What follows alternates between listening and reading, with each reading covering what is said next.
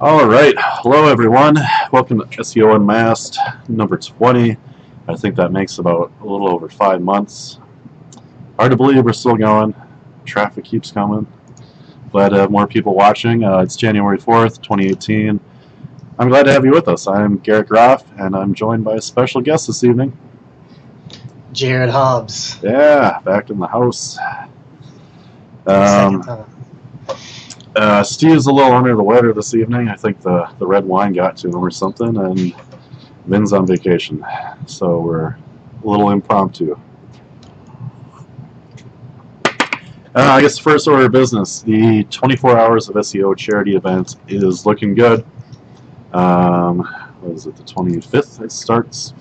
We're going to start, I'm going to start 9 a.m. Central Time on January 25th. We have, uh, well, looks about halfway filled up, maybe two thirds, with some pretty big speakers. Uh, Jared might be able to make it if he's able. Um, yeah, Mike Blumenthal, he's pretty well known in the, the local space.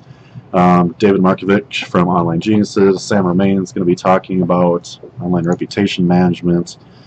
Jason Brown's coming in from Serpu, possibly. Uh, we got Joe Sinkwitz coming in from uh, IntelliFluence. Sorry, I think I, I didn't mute myself, did I? No, I can hear you. Okay. Uh, Paul Shapiro from Search Wilderness. Zach Hay is going to be talking about how to leverage Reddit for SEO. Um, Craig Road is going to be coming in about the physical web and beyond, having to do with, I forgot what they're called, RF card type things that you can be implementing into like restaurants and physical stores. Yeah. RFID chips, RFID. beacons. Yeah, beacons. There we go. Yep, that kind of stuff. Vin's going to be talking about outsourcing work to writers and some tips on how to streamline things better. And Steve will be talking about outreach, obviously. Mark Preston is coming in about a kind of logical approach and a, a mindset to SEO. I think uh, a lot of people get caught up in a lot of stuff, and he's going to have just some general thinking tips to how to clean up your work and maybe be skeptical of some things that are out there and stuff like that. But uh, yeah, uh, the T-shirts have been designed. Uh, I think we're just gonna sell them for 20 bucks. I don't even know what the cost to us is. It's probably like 10 bucks a shirt. So for every T-shirt you buy, 10 bucks or whatever, the profit goes straight to St. Jude's, I believe. And then I think we might be doing a raffle as well. So if you buy a T-shirt, you get a raffle ticket, and you might win some consulting time.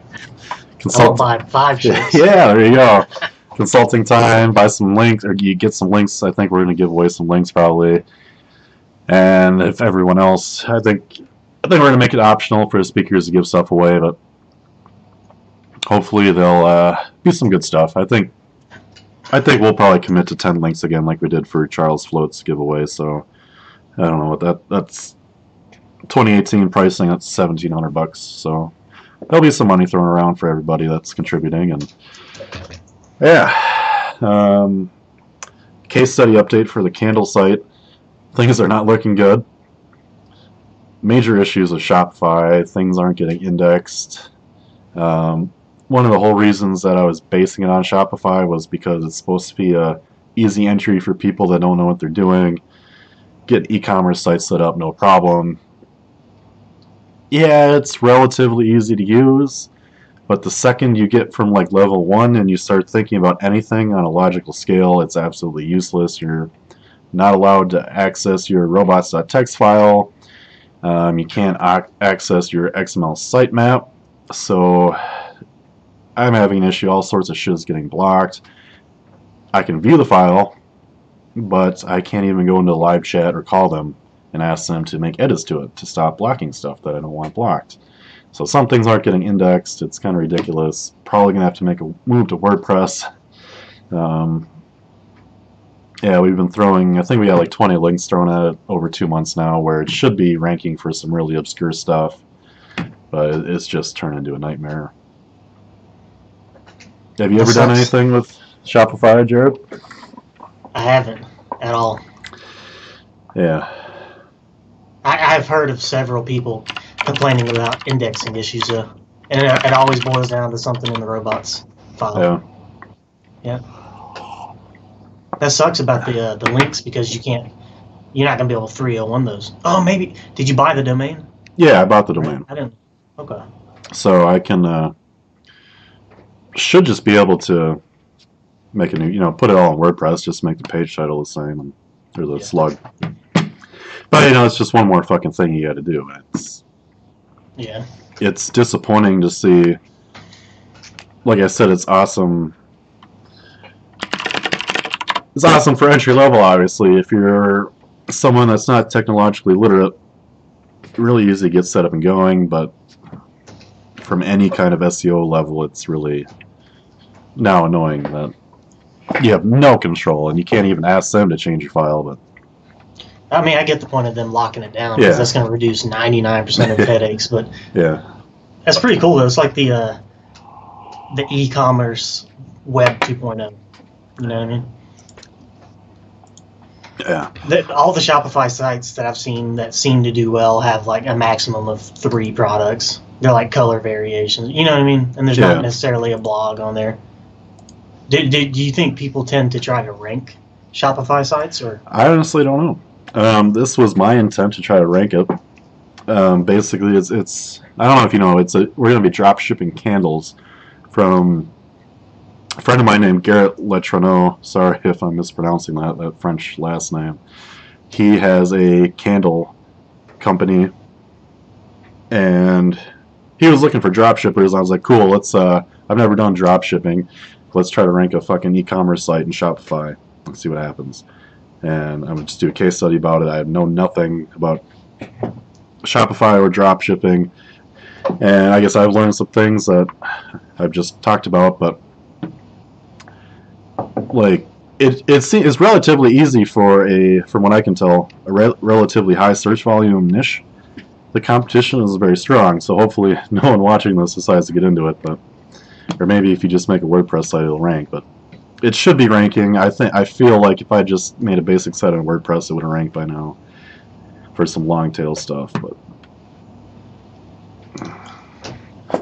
Damn you, Shopify. yeah, uh, Sam Romain wants to see some. I think we have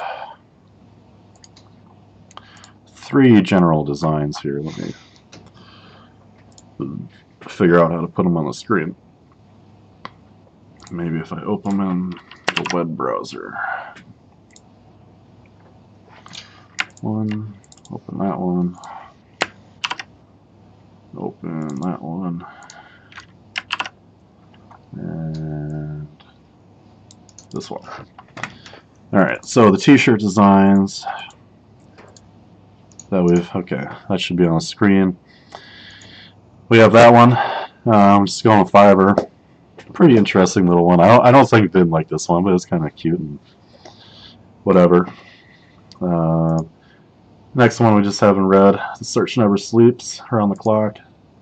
And this one, Search Never Sleeps in green and black.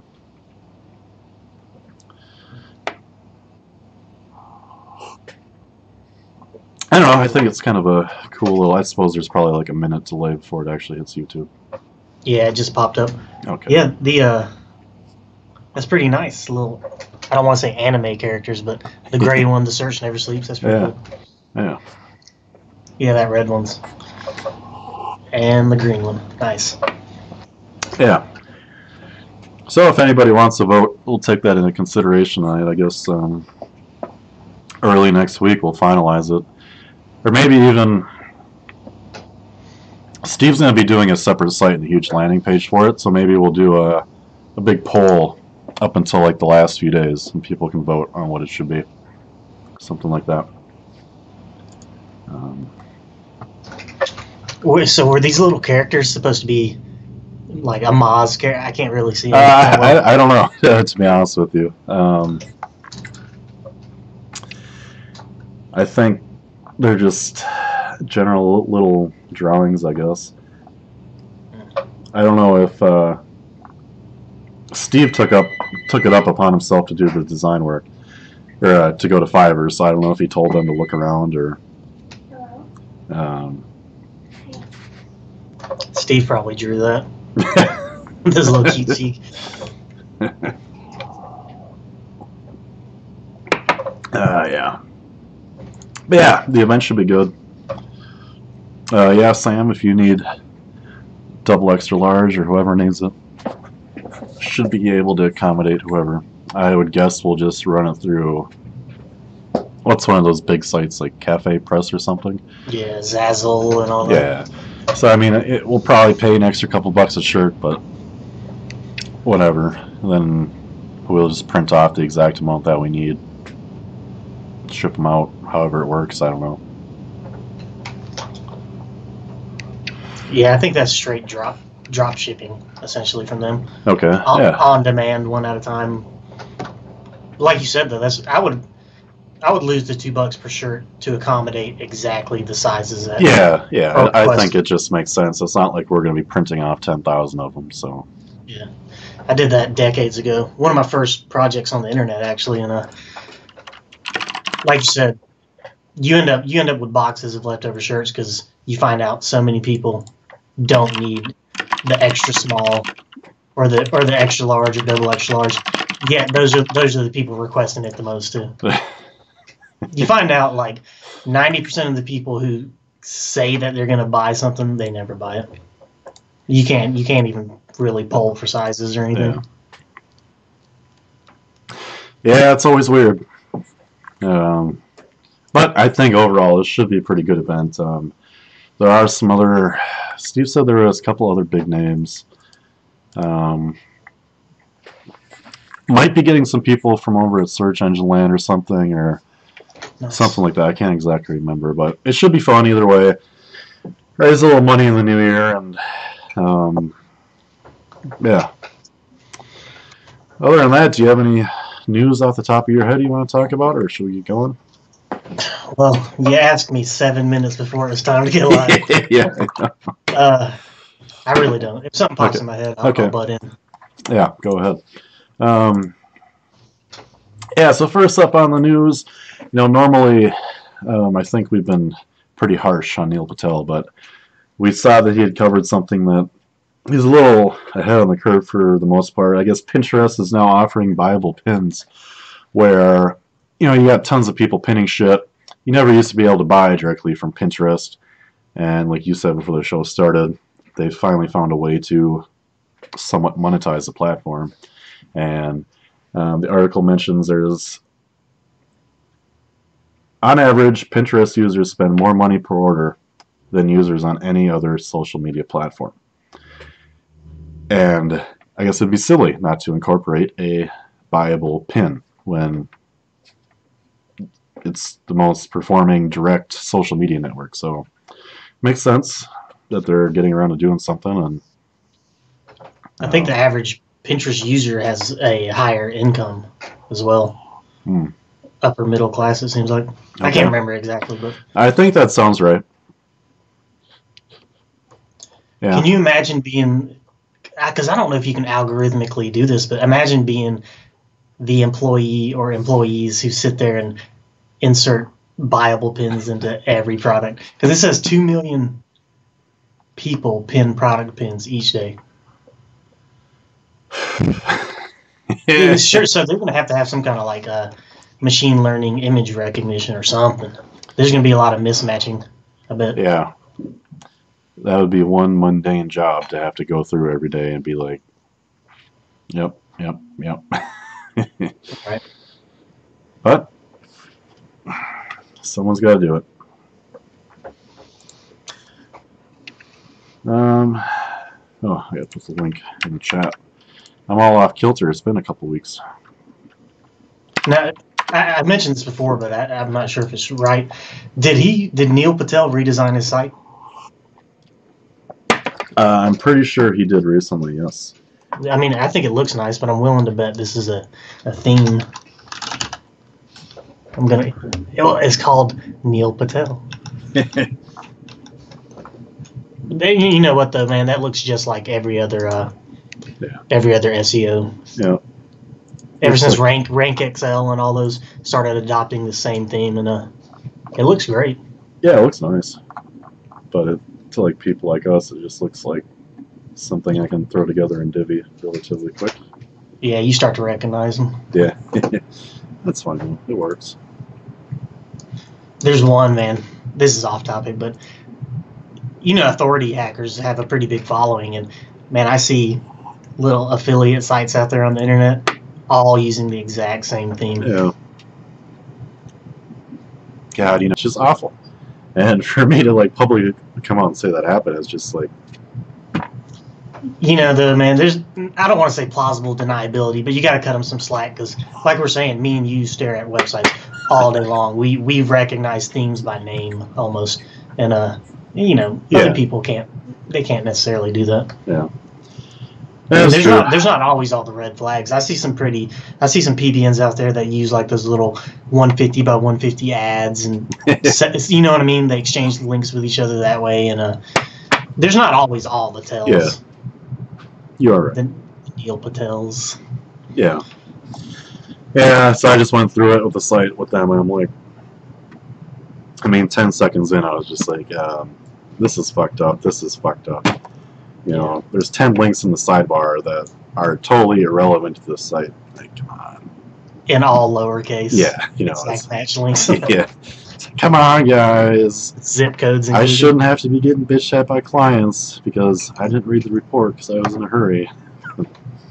kind of my fault, but you know, it's like uh, embarrassing.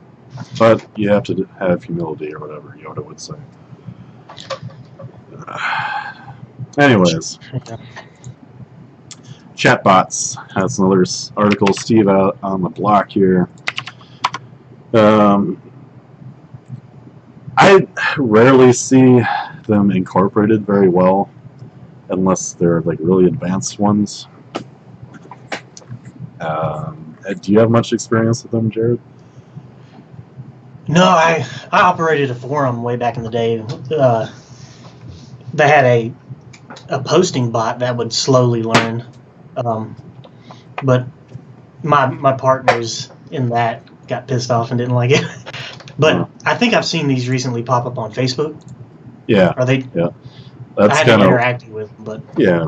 Um, it's starting to seem like it's becoming popular, and a lot of the SEO groups are talking about it.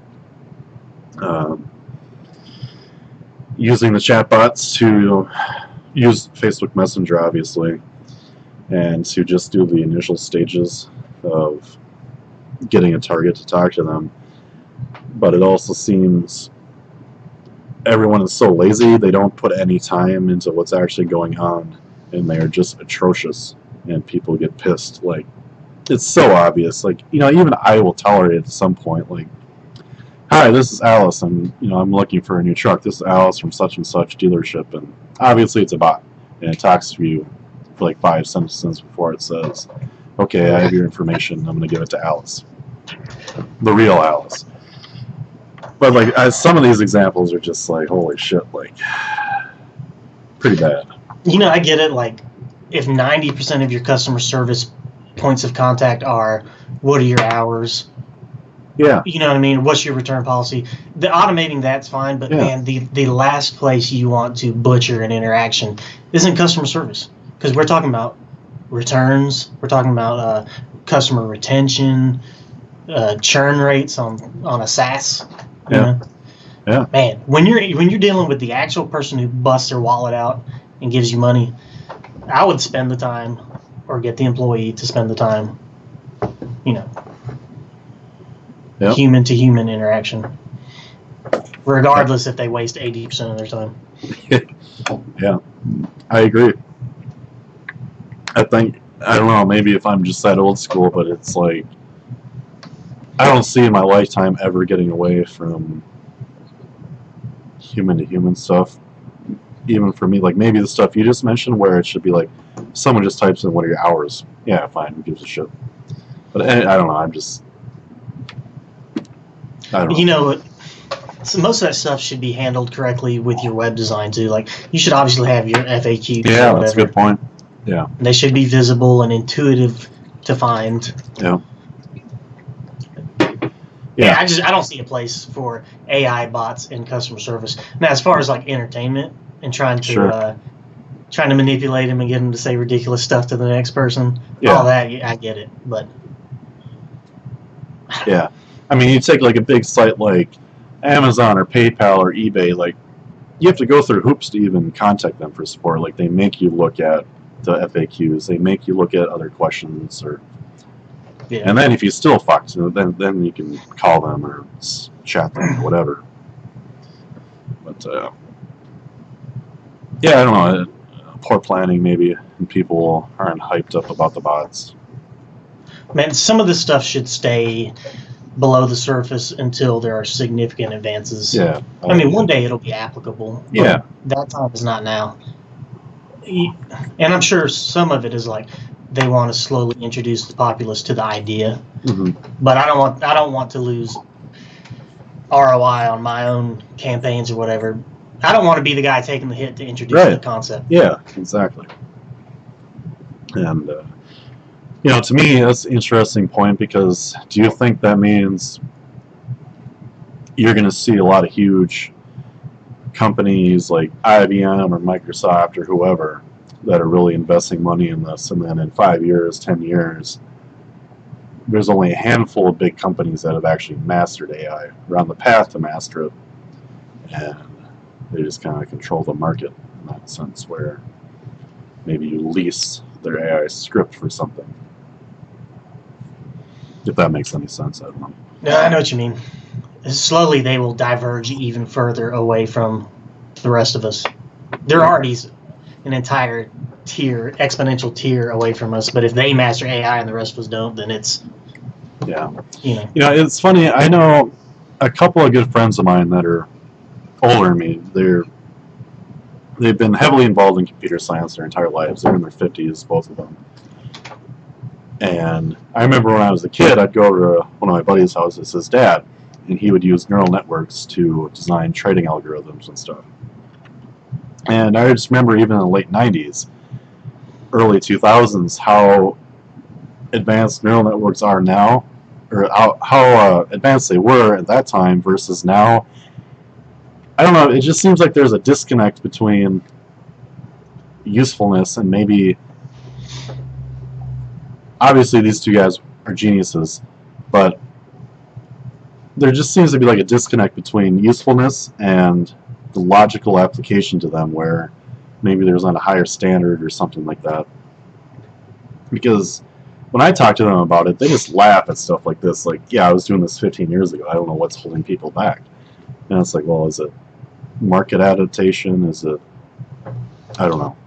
I mean, I think a lot of it is that these neural networks were never truly. I mean, we don't have any true artificial intelligence, despite everybody throwing that term around. Right. They, they're really inflexible, and they require a shitload of training. Like I don't know if you've they do. ever watched the ones where it's like we're teaching a bot to play Mario.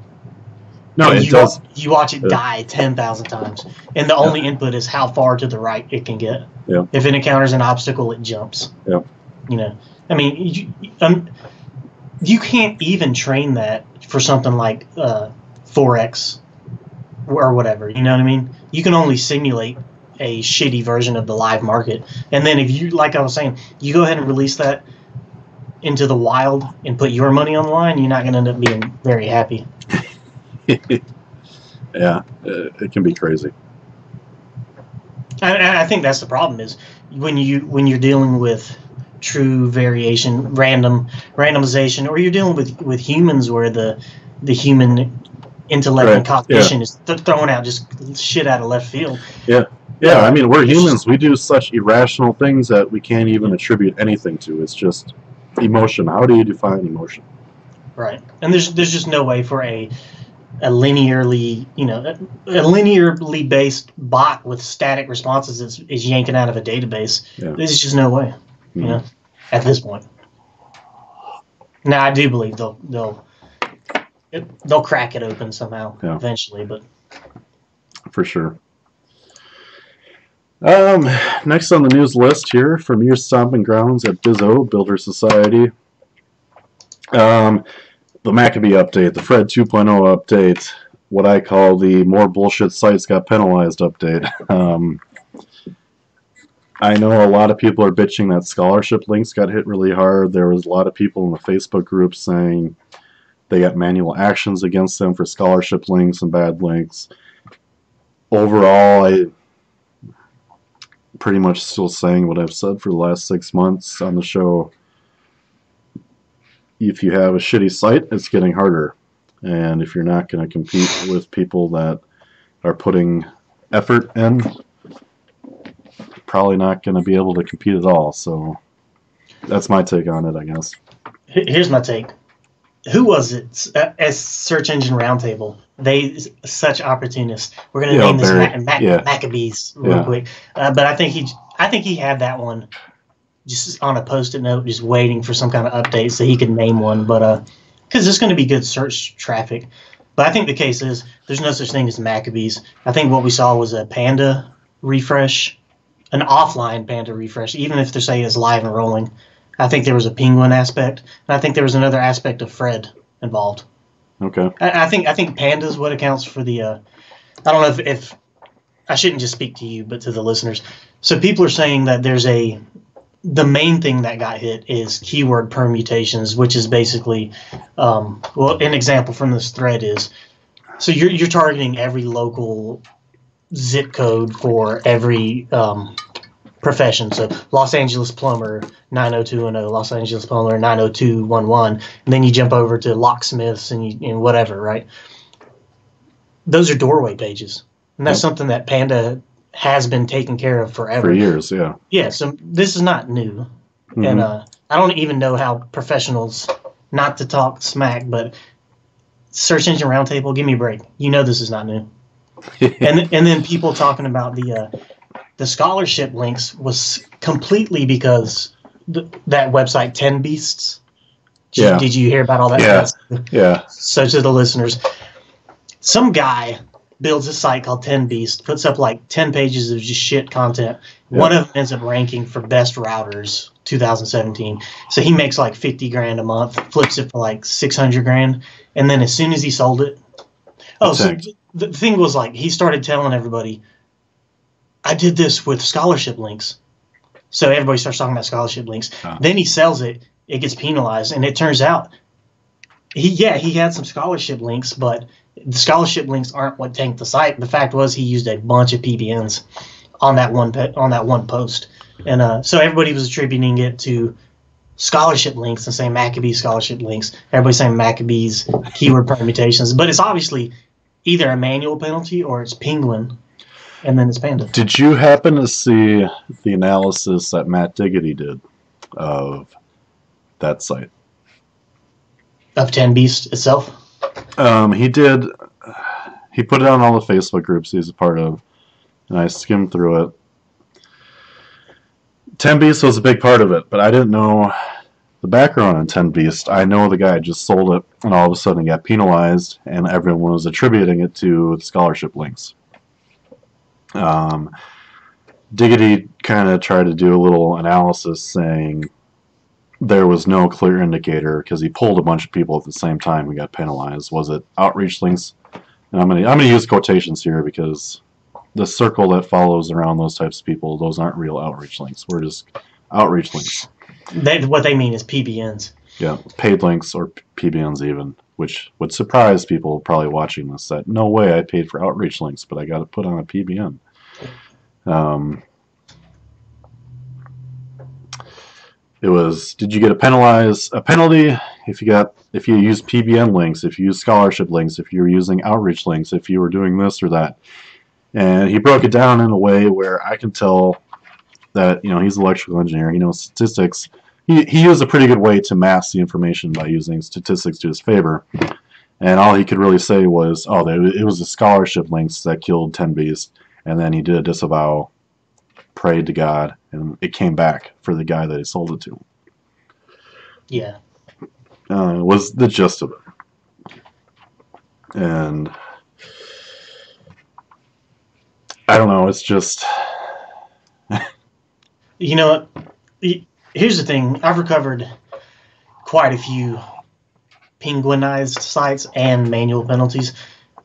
If it the only way you're going to recover as fast as that guy did is if it was a manual penalty and Yeah.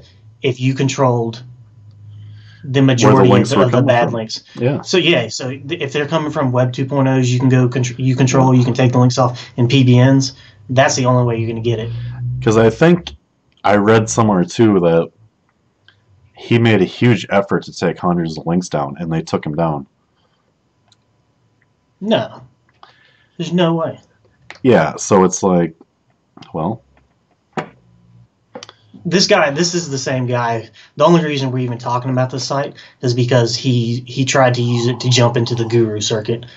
He wanted to become a high profile fi- profile name. That's why we're talking about scholarship links and the fact that the site was sold and then penalized. The the fact is, he did some controlled spam where he had access to remove the links. He removed them, and the, and then he, and he copped to the fact that he was the one who did it. Because I've done this and it works. That's the only way you get the penalty removed in three days. Because if it's if you have to send out emails, you got to send out one email. You got to wait Yeah. three to five days, yeah, and then you just to to, do it for them to look at it, and then they're probably not going to answer us the email again. I've done it too. And then But you got uh, to do it for the sake of Google to show them that you put in the Yeah. effort. And Yeah. you can't do it in three to five days. It, you, we're talking a couple months to show Yeah. that you put in the real effort. I, yeah, that, that mortgage site that Steve and I have talked about that we run, that we used for experimenting back in the day, and now I'm rebuilding it. The, the, the first penguin penalty we got, like fucking A, it took me like two months to disavow, or before that, obviously, reach out to every fucking link that we built and had Sam, whatever his name is, do.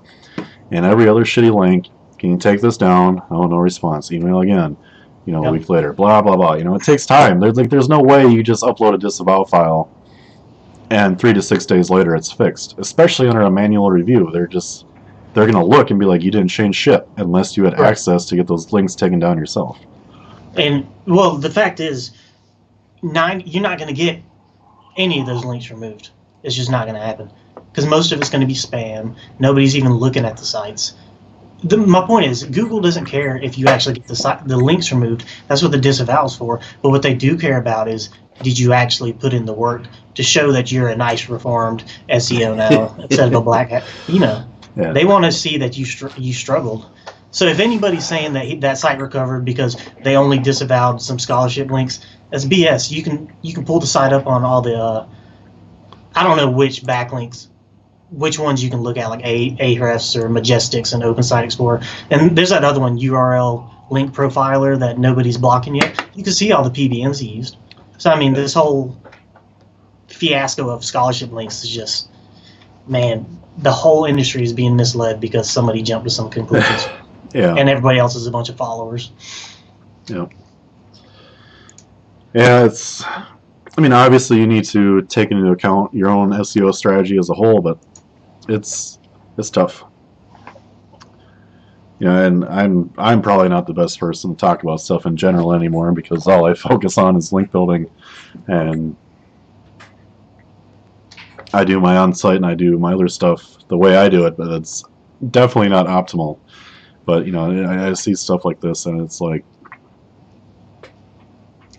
well, how many more people are going to get fucked over, you know? And then, and then they go out and start selling SEO, and it's like that much harder to get a SEO contract these days, because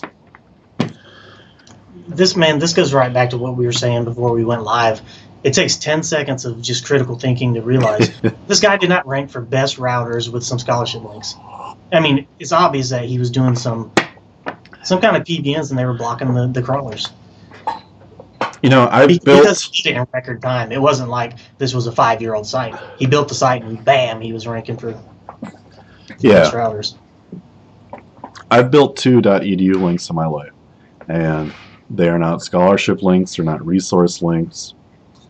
I I, like straight up convinced two universities to cover a story. It wasn't even a story. It was in, it was we were working for a drug and rehab drug and alcohol rehab facility at the time, and I got them to cover um, what this facility was doing, and like being able to do that kind of stuff versus scholarship links obviously works, but I don't know. It's just I like Man. doing fun stuff like that. Yeah, I, I recently, I guess sometime early last year, you know, I wrote about a legal thing that happened in my vertical, and and some uh, some EDUs picked it up. You know, they're like lawyer sites. Yep. Whatever slash law, and uh, I mean, it's not a magic. It's no magic bullet to help you rank just because it says EDU. Because the fact is, most of that stuff is student maintained, and there's no moderation. Yeah. I mean, and Google knows that, and Google zapped the power of EDUs quite a while ago. I mean, I think at one time it was you could get quite the significant boost out of some some EDU links, but I don't think that happens anymore. I don't think that's been happening for at least a couple years. Yeah, I, I think it's I think it's definitely where they're placed because you know you can see you can buy these .edu links for like three bucks where it's like this subsector of the school site where like you said it's student ran and the student's getting like some publicity for it he thinks but it's really just some black hat guy throwing some shit on their forum or something. And oh I got an edu link. And I personally think that Google can filter out that shit like you said. And there is a difference between being able to get a link from a university's health department versus the health department's student forum slash, you know, backslash this submit your own article bullshit. Right. And it's not easy to get those links. And I'm not saying, like, when I say I've built two in my life over a decade, it's like, yeah, it's like once every 1,000 times I try, it comes out. so it's tough, but I think it's worth it. I think you're right. Like if you get real close to the root domain, you're like one subfolder away, and, and it's in the navigation. Obviously, it's going to be a huge boost if it's contextual. Even if you end up on a student page that's contextual. But like you said, if you're in the forum or if you're in some kind of little Web 2.0, you know, self registration section, Google can filter every bit of that. Most of it's built, you know, you know, on Apache servers where you can do the old the forward slash tilde, Yep. and you can si- sign in with a username. You know, most of that stuff, those student sections, Google's filtering all of that. Yep. S- Same thing with author accounts on all these uh, these big publications everybody's been selling for 500 and a thousand bucks. Google whacked all that stuff off a long time ago. Mhm. And I, I saw proof. I think I mentioned this on the show before, but I've seen where Google will de-index just a specific author account. I mean, they're on the ball. Yeah. You're not you're not going to fool them with any of this stuff. If you end up on an EDU resource page, that's going to be fantastic. If you're on an EDU resource page that's underneath a H3 header that says scholarship opportunities, Google's going to ignore it. Because by definition, those are temporary anyway. Scholarships for 2018. Right. Well, that's that was kind of like the whole point of something I talked to somebody about, and I'm like, yeah. So the scholarship is for fall semester 2017, right? Why do you still have this link up, and why is this spatial here? It's like, well, we want to. The idea is we want to show that our company is a you know a financial gift. You know, we're helping out our local community. Blah blah blah blah. I'm like, well, why don't you look at what your other competitors do? And they say, what do you mean? And they go, okay, this competitor in your town has a scholarship page, but it's constantly updated. They take the old scholarships down, even though it's the same scholarship every semester, it's updated with who won it, which school it went to, or whatever. Constantly changing. It's never like the same 2017 page fall, 2018 page. You know, kind of what someone normally would do, but I don't know if that even makes sense. I should rephrase it. Anyway. Yeah. Let's move on. I Yeah. can rant about this stuff all day. Um, next on the list, a bunch of digital publishers bought cheap traffic and later found out it was fraudulent. This seems to be something that's coming up a little more often in my circles. Um, people are obviously talking about whether or not traffic from organic search has any effect on rankings, click-through rates. Um, For sure. This article isn't necessarily about, excuse me, organic search, but there's big, huge companies, Forbes top 100 companies that are getting duped, and it's kind of disappointing. there's an entire universe. I mean, obviously we know about the deep web and the dark Mhm. web and whatever, but there's an entire universe of just affiliate sites where they rip each other's sites, fi- you know, five article sites that look legit, and uh, but basically they're approved for certain campaigns like skin care or whatever, and and they buy all this shit traffic from all kinds of places, and when you land on them, you can get trapped in that little loop and not even have a clue. You're in a universe of, of unindex, unindexable websites. Not me or you, but some old person, you know. Yeah. They get caught up on a cycle of seven search uh, domain landers with just keywords on them. Yeah, yeah, it's uh, it's wild. My uh, my grandpa definitely falls into that kind of category, which This uh, yeah, this, Yeah. It's not. This is not just like. I, I, I haven't read this art, article, obviously, but uh, I would I wouldn't even be surprised if this isn't a spin job itself. But most of the time, it's not. We act we got duped and we didn't realize we were buying fake traffic. Most of the time, they're in on it. Like I don't know if you know, CNN got busted because Yeah. their traffic is way down. Oh, their yeah. TV visibility, but No, they got well, busted buying like yeah, they got- we used to pay on some of our huge national contracts. Part of our contracts included. Um, these are contracts where my NDA has expired, so I'm not allowed to talk about it. We allowed for buying traffic on networks that CNN privately disclosed, as in we were getting paid to send traffic to CNN or other huge news conglomerates. And it wasn't even fake, but you had an option. Like, do you want to buy this many extra views to go there or something? It was just absolutely ridiculous. And they come out as a news outlet saying, "Oh, we had no idea. Oh, we had no idea we were buying traffic from this source." And they like, knew damn well they bought 11 Yeah. million Yeah. Chinese bot visits. Because, and I'll tell you exactly what they're doing. I was just reading. Uh, when, when I read these magazines, you know, you get to the end and it's like you can see their distribution numbers. How many they gave away for free? How many got on newsstands? Blah blah blah blah. How many they ship out as free promotions? But they'll give away uh, as many as they sold, so they can boost their their subscriber numbers. Yeah. Because then they can justify charging the advertisers Yeah. a lot more. That's what CNN's doing. But not only are they defrauding the real advertisers, but they're they're defrauding the ad networks.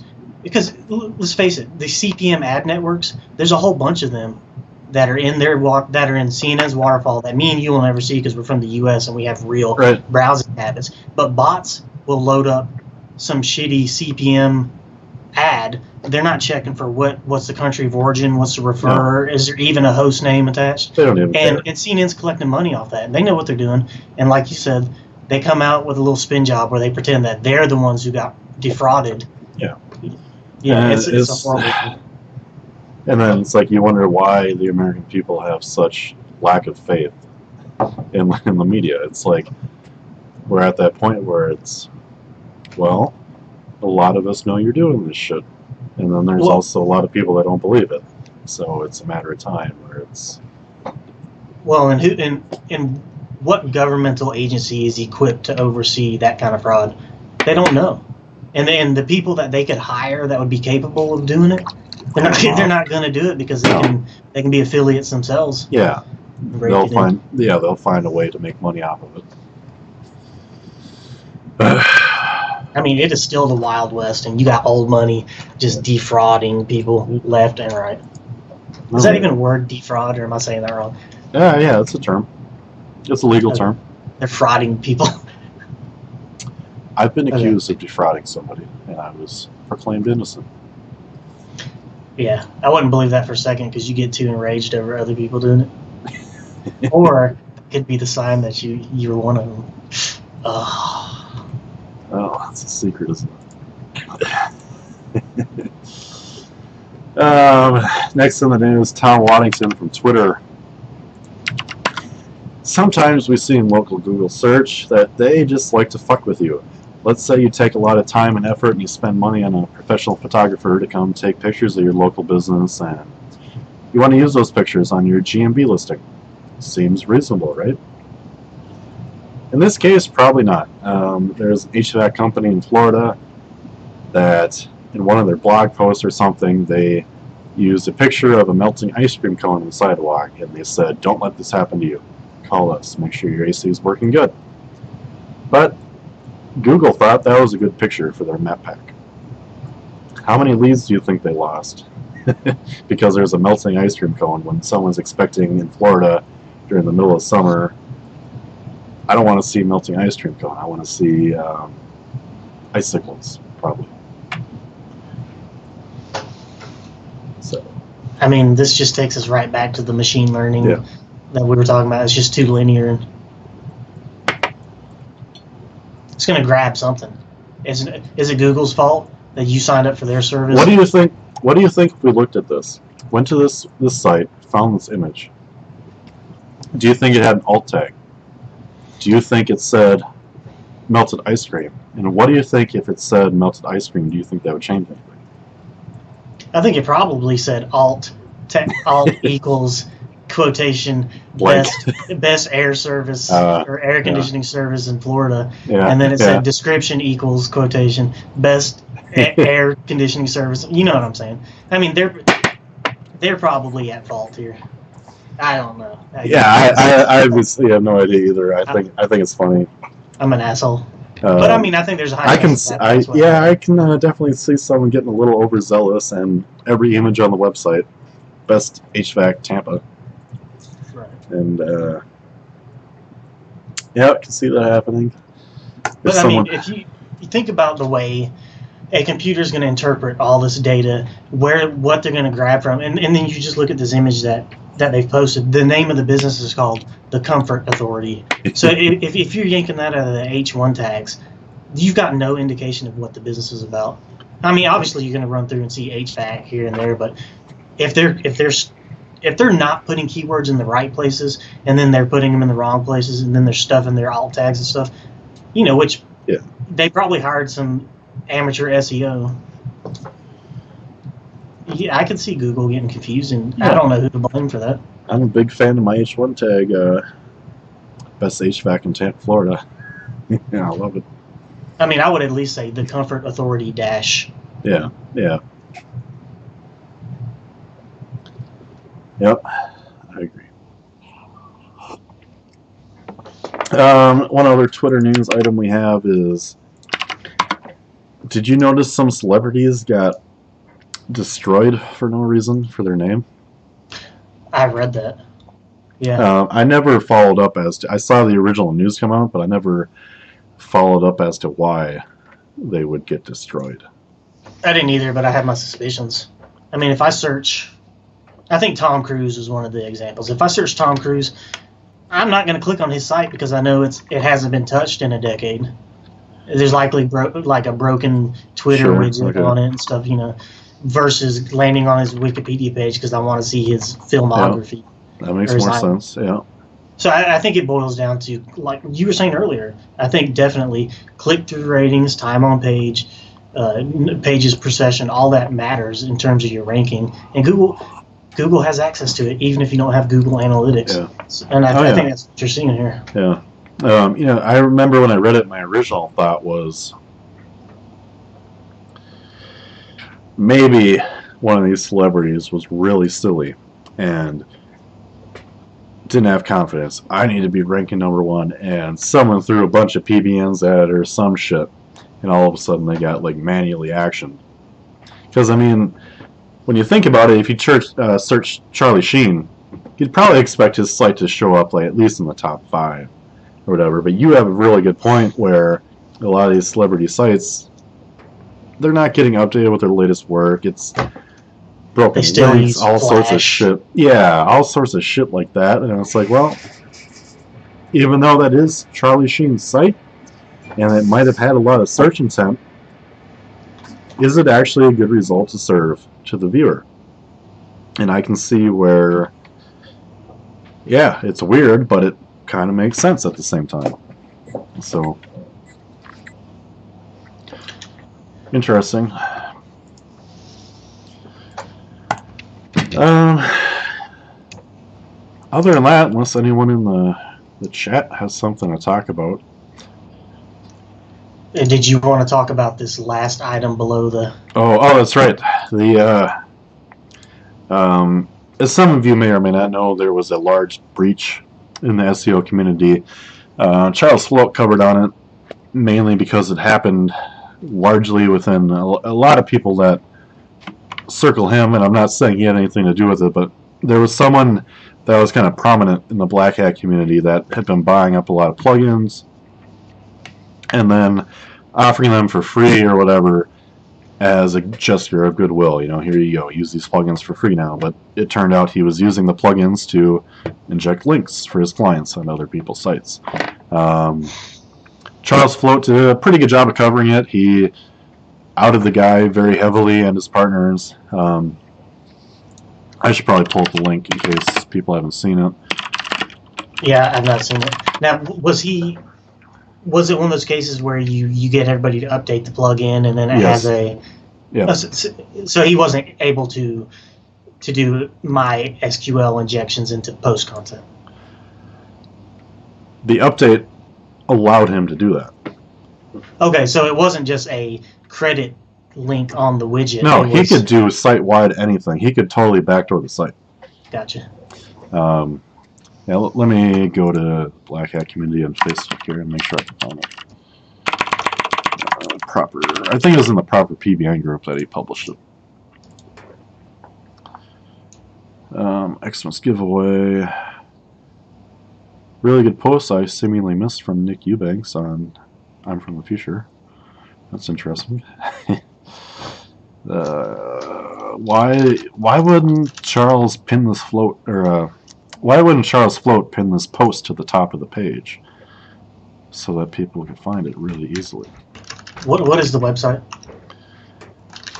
That that you're on Black Hat Community? Um, I see it all on Facebook. I'm just in all the. Are you on Oh. Facebook? No, I'm sorry. Okay. Um, it's on Charles Floate's blog. That's so. I guess I should look there. Charles Floate blog. Uh, Lionsville. That's weird. Does Charles Floate not have a blog? I thought he had a blog. Oh man. He had charlesfloate.com, I thought. Or Because .co.uk. um, if you even Google Charles Floate, no, I'm sure he's de-indexed. yeah. So, uh, fuck. No, here it is though. charlesfloate.co.uk. Backdoor. I can't for some. Oh, he's got something weird going on, man. You can't even scroll down Oh, really? unless, like, he's got a, a frame within the browser. Anyway, the top post, backdoor plugins. Oh, I got it working for me. I'll, uh, I'm There gonna, you go. I'll drop that link inside the. yeah, I got her. Oh, okay. Um, yeah, so basically, let me figure out this douchebag's name that did this to everybody. Unless, unless he, I don't think he took it out. But. James Bryant. Uh, WordFence, that's a plugin I don't know, I use on the WordPress sites. It's pretty decent. That's the name of the guy. He, uh, Richard Forrest, Gareth Bull. Do we know their screen names? I don't know. Nah, not that it matters. I don't care. I don't use plugins. Yeah, it's just uh, yeah, it's disappointing because it's obviously taken advantage of a huge part of the SEO community that relies on them. Whether that's good or bad isn't really the point. Obviously, it's just here we are. You know, There's an extra level of scuzziness doing it to other SEOs. I I mean, it's shitty all around, but yeah, you know, there's some weirder extra layer on top of all this. yeah. yeah. So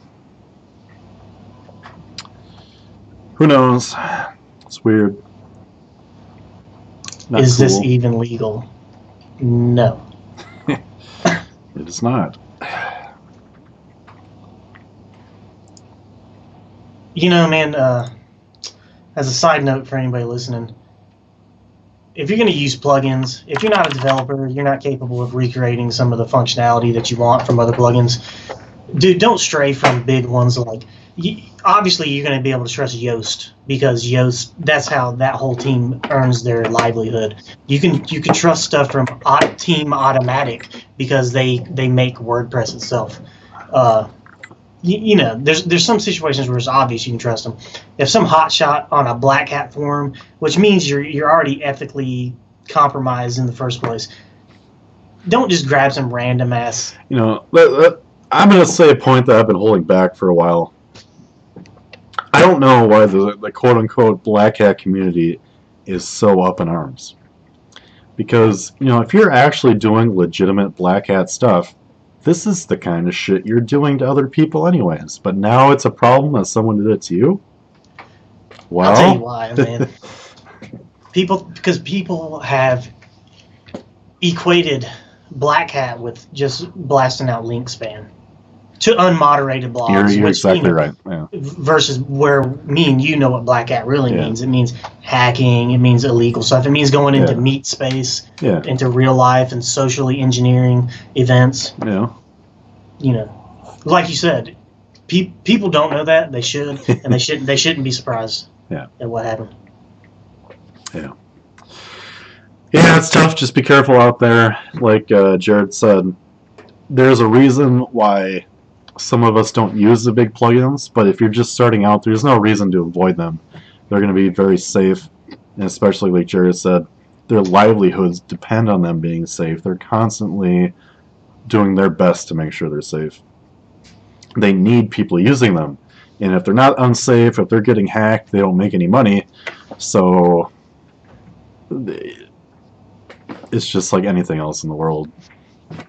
They they can usually be trusted, I guess. But Right. The, the there's they have too much to gain. Yeah.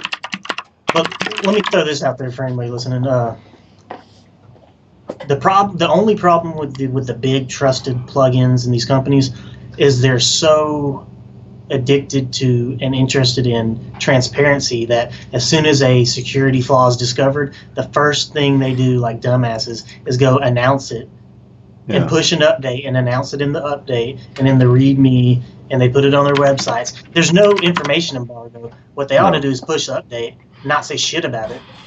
And then once they see 75% of their user base has updated, then they can say, this is why we did it. Yeah. So, so my point is, when you get those little notifications in your web in your CMS that says a plugin needs to be updated, you need to look at that shit because there's probably a security flaw they, they just announced to the entire world, and then it's a race between the bad guys and you. Who's gonna Who's gonna infect your site first, or are Yeah. you gonna click update first? Yep. yeah. You know, it's just approaching stuff with common sense. Um, be skeptical. You know, I'm not saying you have to just distrust everybody, obviously, but ask questions, look around.